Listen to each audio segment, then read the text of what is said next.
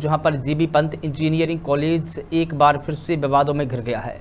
PRD स्वयं सेवकों को आउटसोर्स के माध्यम से सेवा में रखने के मामले ने तूल पकड़ लिया है, जिसके बाद संविदा कर्मी हड़ताल पर चले गए हैं। वहीं कॉलेज प्रशासन ने बच्चों को छुट्टी पर जाने के लिए निर्देशित कर दिया है। वहीं कांग्रेस नेत्री सरिता नेगी ने कॉलेज प्रशासन के इस रवैये पर नाराज़गी ज़ाहिर की है। जिला अधिकारी ने कहा कि इस मुद्दे की छानबीन की जाए और कॉलेज को सुचारू से संचालित करने की दिशा की पहल की जाए।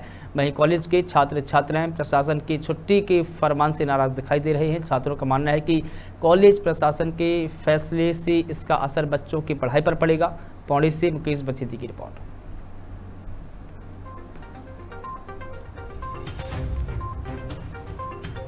वो आजकल, जिससे पहले भी ये मुद्दे हमेशा ये विवादों में रहा है ये कॉलेज।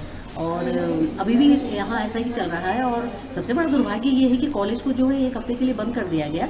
बच्चों के भविष्य का सवाल है, वो पढ़ने यहाँ रखें ये नेतागिरी करने नहीं यहाँ रखें और दूसरी बात ये है कि जो भी मुद्दा है कर्मचारियों का, जो उनकी मांगे हैं, जैसा भी है, उसको सुलझाने का काम वहाँ के डायरेक्टर का है वो, उनका काम है कि वो बैठा करके चीज़ों को सुलझाएँ, ना कि उलझाएँ। और यदि इस तरह की उलझने चलती रहेंगी और किसी तरह कॉलेज की साख पर पट्टा लगता है तो ये हम सहन बर्दाश्त नहीं होने देंगे, क्योंकि सबसे ज़्यादा ये प्रकरण जो आप मेरे संज्ञान में ला रहे हैं, इस पर स्टेटस रिपोर्ट मांगी जा रही है कॉलेज एडमिनिस्ट्रेशन से, और इसके अतिरिक्त जो विवाद की स्थिति है, उसमें सीईओ और एसडीएम को निर्देशित किया गया है कि मौके पर जाके शांति व्यवस्था और जो आवश्यक कार्रवाई की जानी है, उस संबंध में उन्हें निर्देशित